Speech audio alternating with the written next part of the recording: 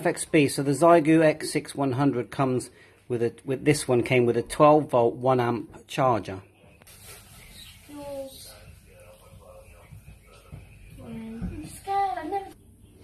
When it's plugged in, the light flashes like so.